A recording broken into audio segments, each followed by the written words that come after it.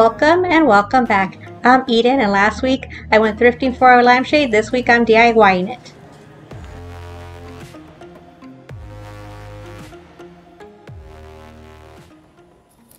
Okay, to figure out my measurements. I took my measured tape, measured above, that's 14 inches. I took it again, measured the bottom, that's 31. And then later I measured the length, which was about seven and a half. So that's how I got my measurements. Let me show you what I did after I got the measurement. So after I got my measurements, I knew that two inches for each petal on top would be enough because two times eight would be 16. Eight times five was going to be enough. So once I got that, I knew how what I needed to cut my template. That's why I got the two inches on top of my template. Where's my template at? That's I got two inches on top of my template, nine inches down the center, and then later five inches across.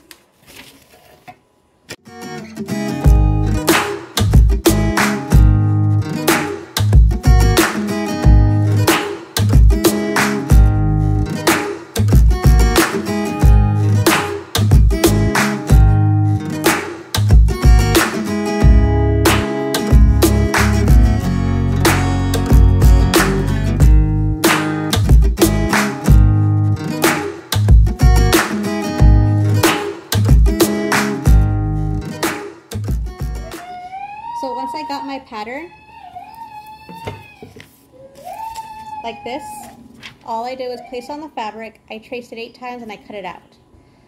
So before I made my final like sizing, I actually made a template out of paper to make sure it would fit.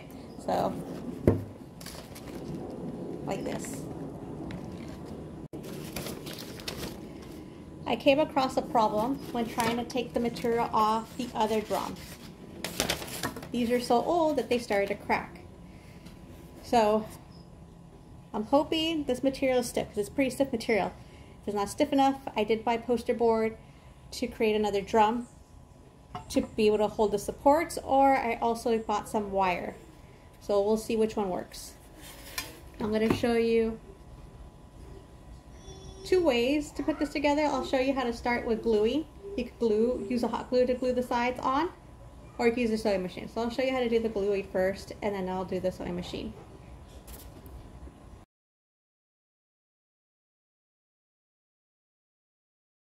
Uh, here we go. Okay, so I forgot to mention that I actually measured, there we go, a quarter of an inch in from the top. So I measured a quarter of an inch this way, and I, where it starts to like curve down here at the bottom, I measure, measure a quarter of an inch in, and then I made my line across, because this is where I'm going to sew. But I'm going to show you right now how to glue it together using a glue gun. So I'm making sure that my lines are on the outside right here. And you're to, you don't need to make lines unless if you really need to, but I'm to do that because I'm to sew this afterwards. So all you do is you put glue on your edging. You just line up your fabric.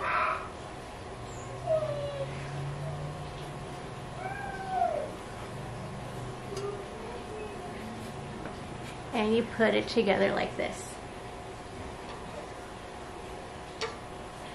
Okay, you need to make sure you're generous with your glue when you're putting it on. So when you open it, uh, let's see if I can put it right there. Okay, so when you open it, it should look like this, but you remember, you just kind of keep gluing your sides. So I got my first piece down. Now, this side right here needs to be glued. Again, you can see it.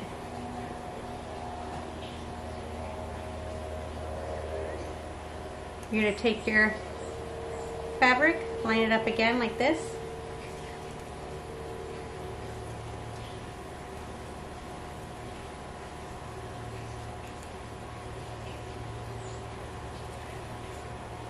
And you're gonna glue it.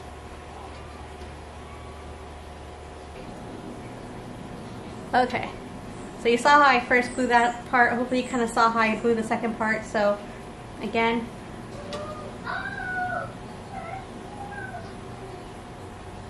this part and this part needs to be glued. So I'm opening it up like this, lining it up right here together. And actually if you're gluing it together, maybe it will be helpful to put the lines just because you know this is going to be inside and the one without the lines is supposed to be the outer part. Or, hopefully that makes sense. I don't know. Hopefully this makes sense. This is probably the hard part right here for me. So I'm starting to make a pattern. You'll continue it until you finish your eight pieces or however big you're making yours. And you keep going around. So you make sure you put the glue here. So once you glue it down, you glue it here. You just line it up. Once you glue it, you do the same here. You open it up, you put glue here, and then you put your other piece right here. So hopefully that makes sense. Okay, I'm gonna sew mine next.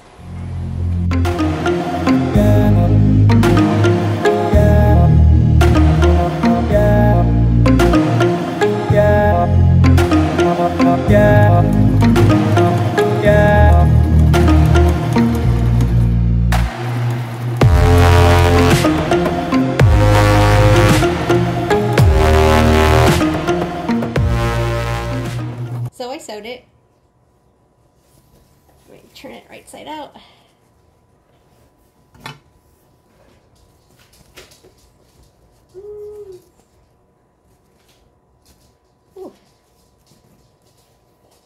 So this is how it's looking. Let's see if I can scoot back a little bit. So I'm going to try gluing it down and see how that works. I tried ironing it, but I can't get this crease out, and I tried it with the some wrinkle release and a steamer. So this all looks, I haven't glued it down. Definitely might need some wire to help it push out a little bit. In this next upcoming video, you'll just see me putting the lamp together. So what I ended up doing was, I had these stems for like two years. They're faux flowers from Dollar Tree. I ended up taking these because there's like wire, so they were pretty stiff enough to hold the lamp shape. So all I did was pull off the flowers, I used my clippers, and I clipped off the plastic parts.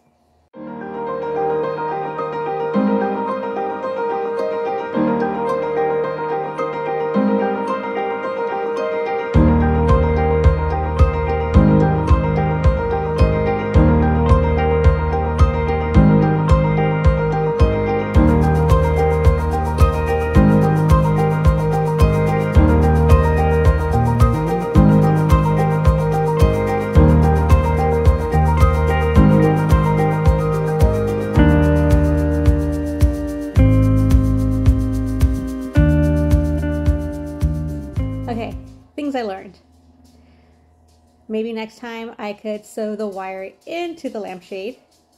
But if you haven't, don't have a sewing machine, you could just use the hot glue gun like I did. And next time, instead of hot gluing it to the frame, I would probably use like E6000. And that's just for more aesthetic reasons because when I look down into it, I can see the big globs of glue. But it's actually holding up. I haven't had any problems with it. And I actually am happy how it turned out. And I think that's it. I don't know, when you guys try this at home or if you do try it, let me know if you find a better way.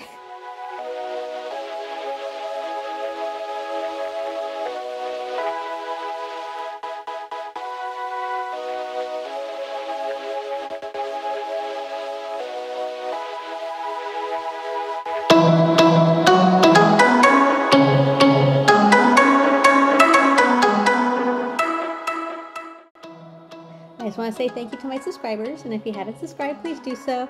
And I hope to see you next time on my next do-it-myself adventure.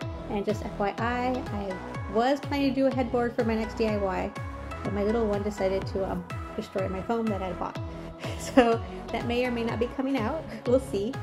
Um, wasn't as bad as when he got the glue and glued those little glass beads onto that, like the DIY Isabel um, Entertainment Center. Yeah, he got a hold of glue and actually glued little glue pebbles to the thing, and I found out the next day. I went to go check on it, but luckily I hadn't painted it or anything like that, so I was able to chisel it off. And that kind of led me to, that's why I use plaster to kind of hide some of those uh, little imperfections. Just a little bit of information right there. Well, you guys have a good day, a good week, and I hope to see you next time. Bye.